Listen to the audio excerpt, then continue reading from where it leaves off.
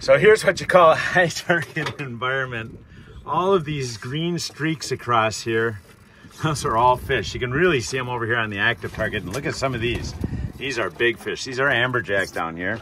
So I'm gonna show you how we're gonna get those. If you look at the screen here, there's some down in like 30, 35's the top of them. So what I'm gonna just do is take this Berkley bucktail jig, a hair jig, put a live shrimp on it, and I'm gonna just take and put it in the water here, and I'm gonna sweep my rod down to try and get into that right zone.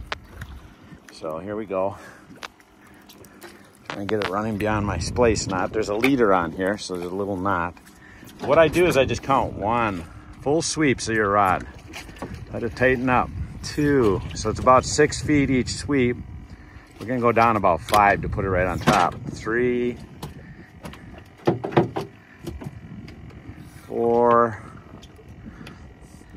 As soon as I get this fish on, which I'm pretty confident I will, five.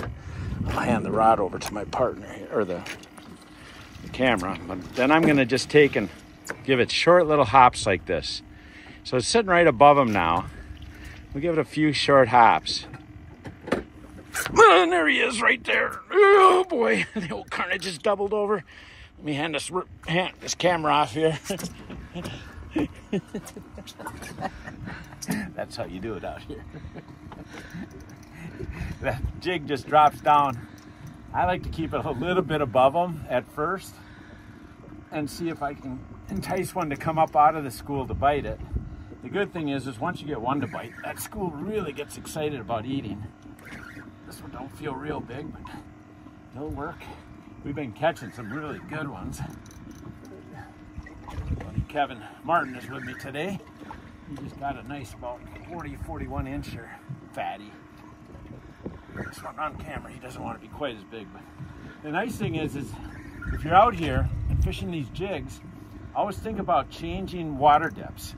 If you drop it down, like if I would have first dropped it down and not got a bite right away, you know, jiggle it a few times, I would sweep it one more time, drop it down another six feet, jiggle it there.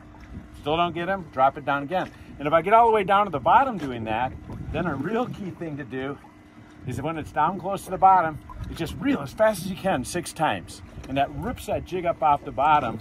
And a lot of times they see that happen and they just can't stand it and they'll come up and bite it then. So I'm just trying to switch water column depths a lot. Look at how this thing bit it here. Again, not a real big one, but the little ones are with the big ones.